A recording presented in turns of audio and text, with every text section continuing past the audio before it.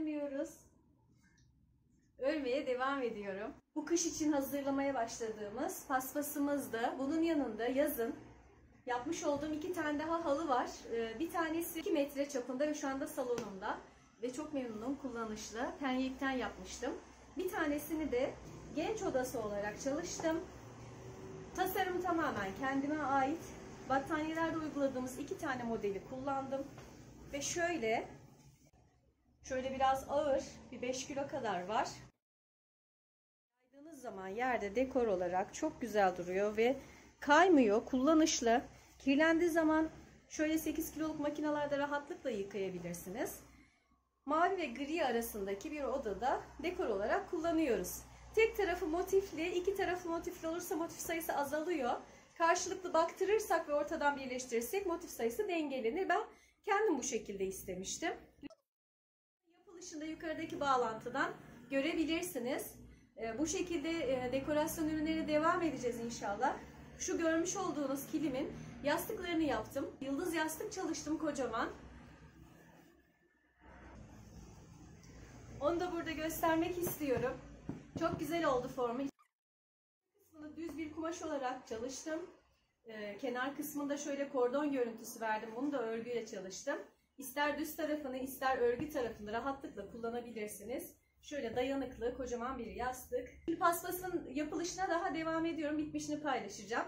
Bu tarz dekorasyon ürünleri çalışmalarımın yanında bolca çanta çalışmam var. Onun haricinde örgü desenleri çeşitli e, örgü örnekleri böyle göz alıcı, gözüme çarpan, sizin işinize yarayacağını düşündüğüm e, ilginç desenleri daha çok çalışıyorum. Onların videoları da oynatma listelerimde yine var. Facebook'tan, Instagram'dan, Pinterest'ten yine Emine Tokel Hobi Mühendisi olarak beni takip edebilirsiniz.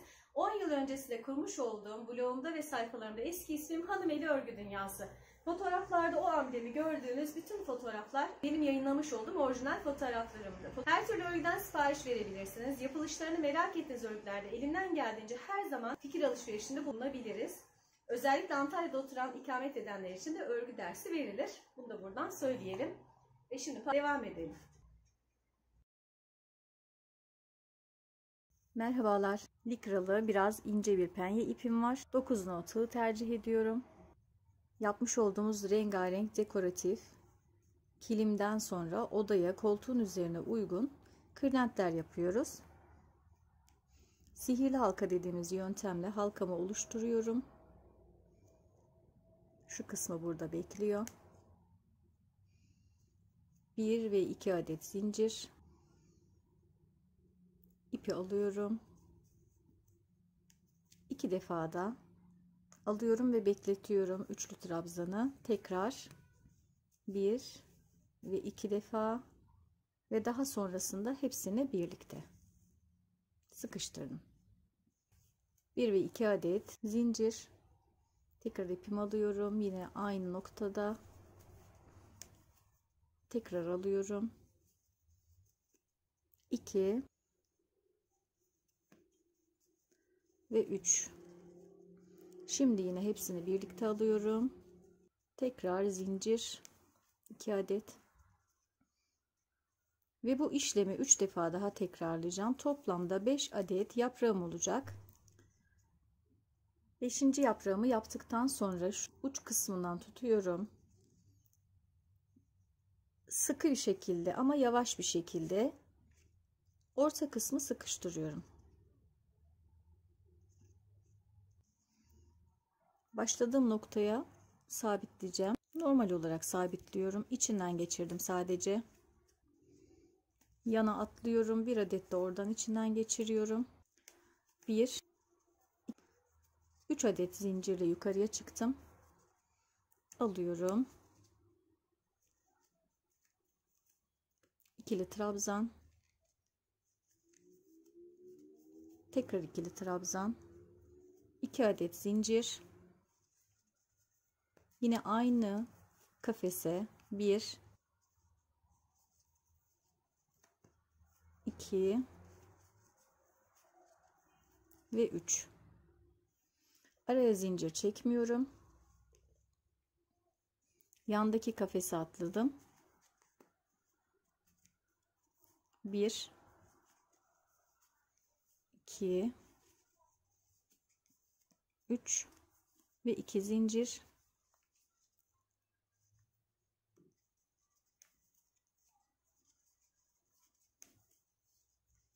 Ve 3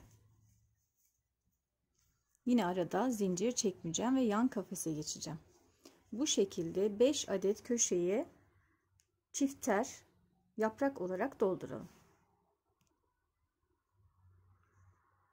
somon rengi gerçekten çok tatlı sıranın sonuna geldim şurayı normal olarak birleştireceğim penye paspaslarda olduğu gibi arkaya almayacağım sıra sonunu normal olarak kapattım Şimdi zigzag modelinin yıldızın kanal kuyruklarının e, oluşmasını sağlayacağız. Zigzag modelinde birkaç çeşit yöntem var. Kafa karışabiliyor. Arttırma ve eksiltmeler birkaç çeşit modelde farklı farklı. Kilim deseninde farklıydı. Burada yine farklı olacak. Şöyle yan ilmeğe atladım. içerisinden yürütmüş oldum. Bir adet. 2 adet zincir çektim. Yani şu 3 adet trabzanın ikincisine ortadakine geçmiş oldum. 2 adet zincirden sonra sıradaki trabzanı örüyorum. 1 adet şuradan eksiltmiş oldum. Ve şu boşluğa geldiğimde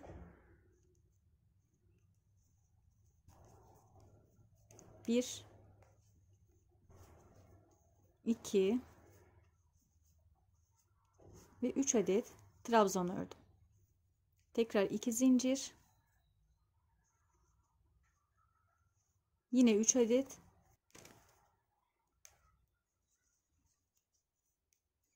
Bir sıra sonrasında dizimize koyarak, yere koyarak veya masada oturarak örmek daha kolay oluyor. Pen ipler iri olduğu için elde tutmak zor olabiliyor. 3 adet trabzandan sonra sıradaki trabzanlarımı örüyorum.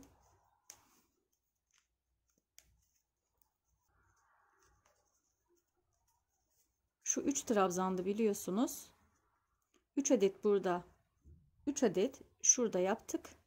2 adet de şunu ördük. Şimdi şu bir tane trabzanı atlayacağım. Yandaki üçlüye geçerken onun da şu ilk trabzanını atlayacağım. Orta kısmındaki trabzandan devam edeceğim. 1 Şurada ilmeği biraz sıkı tutalım. Esneme yapabiliyor. 2 bir eksiltmiş olduk yani 3'tü 2 oldu. Şimdi buraya tekrar 3 adet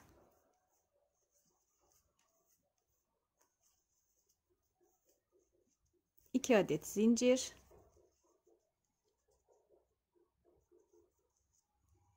Tekrardan 2 ve 3 yine sıradaki trabzanın üzeri 1 ve 2 şunu atlamış oluyorum şurayı ve tekrar sıradan devam ediyorum. Şunları atlamış olduk. 1 ve 2 şu 3 adet de 2'ye düştü. Alıyorum ve boşluğa 3 adet. Zaten bu ilk sırayı kurguladıktan sonra kafanızda oturacaktır. Şimdi işin mantığında 3 adet şurada ilmek arttırma yaptığımda 1 adet de şurada eksilttiğimde aslında 3 adet değil 2 adet arttırmış oluyorum. Yani her bir sırada trabzan sayım 2 adet yükselecek. Şurası 3'tü. 1, 2, 3'tü. İkinci sırada 1, 2, 3, 4 ve 5. Üçüncü sırada 7. Daha sonra 9. Bu şekilde her sırada ikişer adet artarak tek sayılar olarak devam edecek sayılarımızı arada bir kontrol ederek yanlış veya doğru gittiğimizi fark edebiliriz. Arada bir kontrol etmekte fayda var. Yine 3 adet trabzandan sonra sıradaki trabzanı örüyorum. Bir tane daha örüyorum. Ve şimdi atlıyorum. Bu arada da zincir hiç kullanmıyorum. Biraz sıkı tutuyorum. Şunu atlıyorum. Şu iki taneyi atlıyorum ve şu sıradakinin üzerinden alıyorum. Ve böyle 2 ve yine köşe kısmı. Kar tanesi gibi. Evet oluşmaya başladı. Sırayı bitirelim.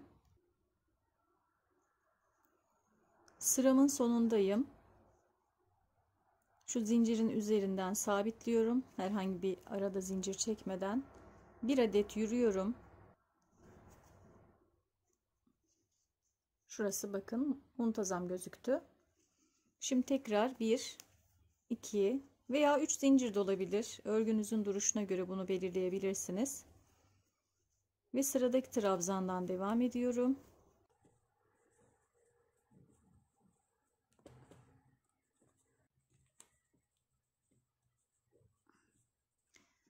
Hemen daha sıranın başında şu trabzanımı eksiltmiş oldum. Şimdi kafese 3 adet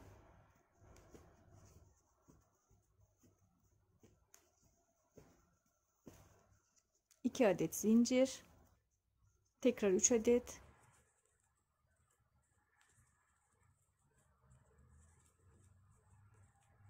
Şimdi bir alt sırada kaçtı? 5'ti. Şimdi 7'ye çıkacak. 3 taneyi ördük. 4 5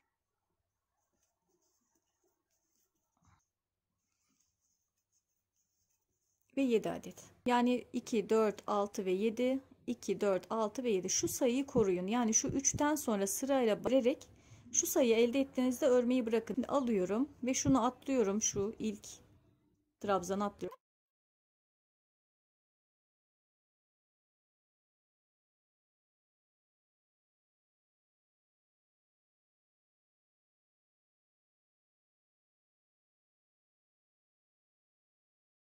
2 4 oldu. 3 adet daha yapıyorum boşluğa.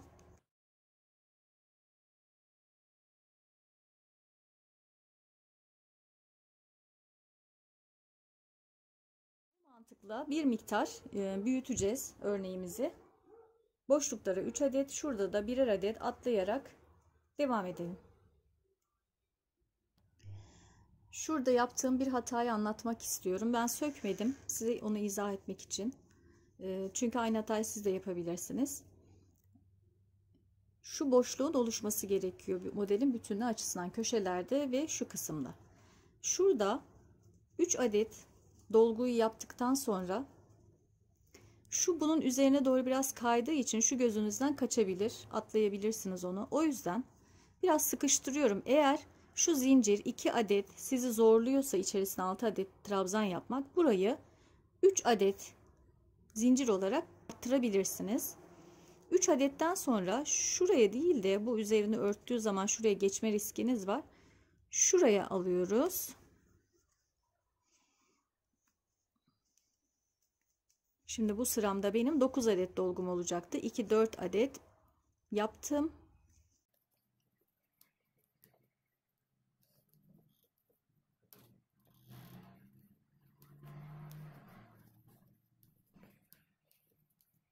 Ve 9. Şimdi şu noktada bir alt sırada o şekilde hata yaptım ben. Şurada hem şunu hem de şunu atlayacağım. Yani 2 adet örmeyeceğim. V şeklindeki boşluğun oluşabilmesi için. Tığımı aldım. Şu şu kanada, şu kuyruğa ait olan şu bir trabzan ile şu kuyruğa ait olan şu bir trabzanı atlıyorum ikisini. 1 2 biraz sıkıştırdım ve bakın 6 ve boşlukta 3 adet örünce toplamda 9 olacak.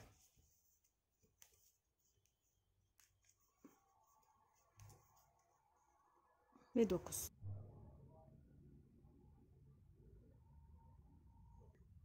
Yıldız yastığımı bir miktar ördüm. Şu çiçeğinden itibaren 1, 2, 3, 4, 5, 6, 7, 8 ve 9 sıra trabzan çalıştım. Şimdi buna şıklık katacağız biraz daha. Şu son ilmeği şuraya sabitlerken yine aynı işlemi tekrarladım. Şu şekilde ve yandaki ilmeğe geçiyorduk biliyorsunuz örmek için. İkinci bir rengim var. Bu dekoratif büyük bir köşe yastık. köşe koltuğun köşe kısmına yapacağım. Onun için boyutunu biraz daha yüksek tutuyorum. Yine dekoruma uygun olarak kilimin içerisindeki renklerden bir tanesini kullanacağım. Bu penye biraz fitilli tutuyor. Çok kaygan değil. Ama birazcık ince. Şimdi burada griyi geçtiğim sırada şu ilmeğin arka kısmından alacağım. Bunu neden yapıyorum? Yastığın ön kısmında battı çıktı görüntüsü olmasını, çok belli olmasını istemediğim için. Renk geçişinin orada daha düz ve biye şeklinde gözükmesini istediğim için yapıyorum.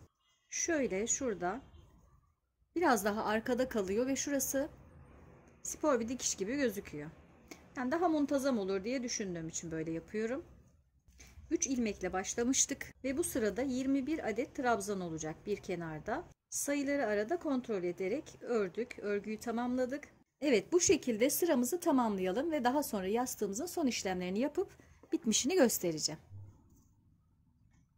Evet yıldız dekoratif dayanma yastığının örme işlemini bitirdim. Son sırasını anlattığım gibi biye şeklinde geçtim ve çok muntazam oldu. Örgü de gayet düzgün oldu. Penye ip ince olduğu için çok fazla ağır değil. Şöyle bir uçtan şuraya kadar 60 santim yastığımın genişliği. Astarlama işlemine geçeceğim. Elimdeki kumaşlarımdan kullanmak istiyorum. Bu tarz dökme kumaşlar, uygun fiyata parçalar. Özellikle İstanbul'da oturanlar Kadıköy'deki daha önce gitmiştim. Salı pazarı vardı orada. Hala var mı bilmiyorum. Oralardan almıştım. Bursa kumaş pazarlarında oluyor. Özellikle Ege bölgesinde Bursa, İstanbul dökme kumaşlar çok fazla var. Antalya'da ben o kadar karşılaşmıyorum. Bu böyle kadife kumaş aslında etekle dikilebilir. Tersini kullanacağım. Çünkü bunun ters rengi benim şu duman rengimle paralel bir renge sahip. Ee, kadife olan değil ters tarafını kullanacağım.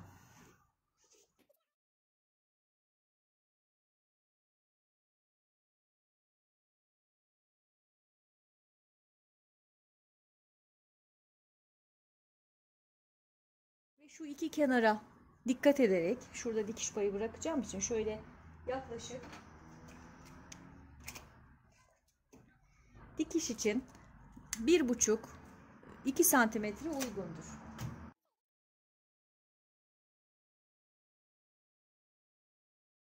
Çizdiğim kısımdan sonra dikiş payı bırakacağım. Dikiş payı şöyle 2 santim kadar 2 santim kadar dikiş payı bırakarak keseceğiz.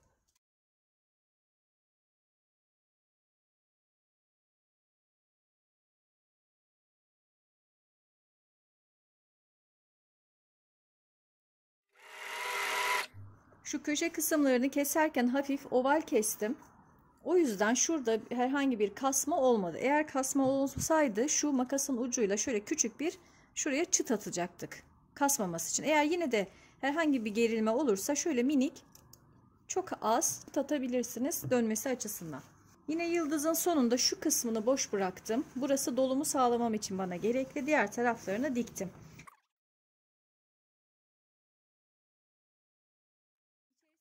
Silikon elyafla doldurabilirsiniz. Yumuşak olur.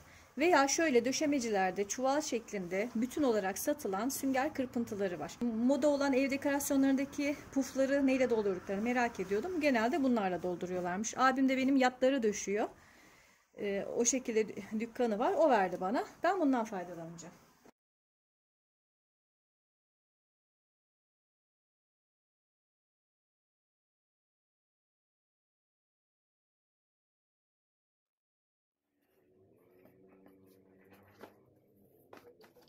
Evet şu anda inanın örgüsünü bile yapmadan o kadar tontiş ve tatlı oldu ki yani dilerseniz böyle de bırakabilirsiniz. Yumuşacık ve çok hafif. Hafif olması önemli. Hatta bu köşeyi şuraya kadar dikebilirmişiz. Daha pratik olurmuş köşe döndürmesi. Ben de ilk defa yaptığım için yıldızı onu düşünemedim. Şöyle iki kat dirime ipi tekrar ikiye katladım ve dört kat gizli dikiş olarak dikeceğim. Örgüde gizli dikiş videom var. Başka renk iple dikseniz de inanın ön tarafından dikiyorsunuz zaten ve gözükmüyor.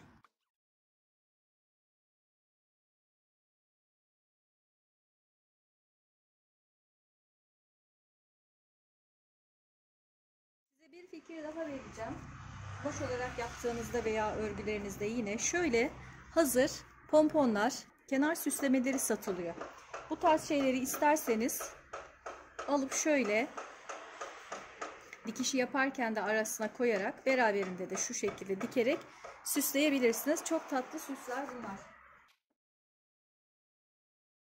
Köşeden başlayarak şu orta dikişlere kadar şu şekilde gerdire gerdire yastığımızı üzerine monte edelim. Diğer tarafta bir parça daha var. Kırlentleri ben genç odasına takım olarak yapıyorum. Genç odası kiliminin yapılışını paylaştım daha önce. İlla yuvarlak penye paspas yapmamız gerekmiyor hep aynı desende. Farklı şeyler üretebiliriz. Farklı bir çalışma yaptım. Motifli zikzak örnekle oradan bakabilirsiniz. Bütün püf noktalarını anlattım. Şu göbek kısmındaki motifin yapılışı da orada var. Bunun da ölçüsü 42 santimetre civarında. Yani 40'a 40 gibi düşünebilirsiniz.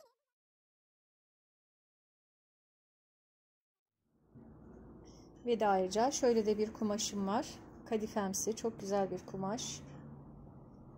Bunu da kenara atmıyor. Bunu da 50'ye 50 olarak kestim. Kumaş bir kırlent olacak.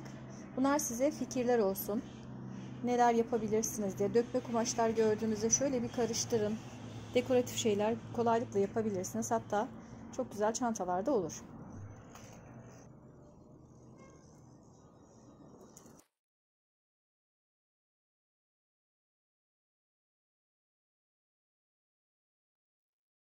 Çalışmalarım bitti. Daha önceden çalışmış olduğum genç odası kilimin önünde dekorana uygun olarak çalıştığım yastıklarım. Kumaşları farklı şekilde kullanacağız. Yine de yan yana koyuyorum. Penye iple çalıştım. Yumuşak ve esnek penye ipler kullandım. Yıldız yastıkta biraz daha ince kullandım. Bu şekilde odalarınızın dekorasyonlarını yenileyip farklı çalışmalar yapabilirsiniz. Sipariş vermek isteyenler Facebook ve Instagram'dan bana ulaşabilirler veya buradan yorum evet, kısmına yazabilirsiniz. Yıldız yastığımız köşede yerini alıyor. Çok kullanışlı oldu. İsteyenler örgü değil kumaş formunda da bunu çalışabilirler. Evet bu daha tombik. Şu kenar biyesi görüntüsünün şıklık kattığını düşünüyorum. Şeklinde kenar hattı koymak e, güzel oldu. Bunu kumaşlarda e, hazır e, sicimler satılıyor kenarlar için. Onlardan kullanarak da yapabilirsiniz. Bu şekilde örgü olmadığı zaman. Diğer tarafta yine şu kumaşımla çalışmış olduğum yumuşacık kırlentlerim var. Orta kısımlarında düğme ile form verdim. Şöyle gayet yumuşak ve puf bir model oldu. Buradaki bütün modelleri çift taraflı kullanabilirsiniz. İster düğmeli ister düğmesiz. Örgüleri de ister kumaş tarafından ister örgü tarafından kullanabilirsiniz.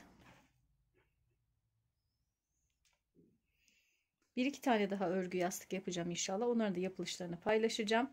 Sizin yapılışını merak ettiğiniz, e, istediğiniz modeller varsa da bana ulaşabilirsiniz. Onlarla ilgili videolarda çekmeye çalışırım.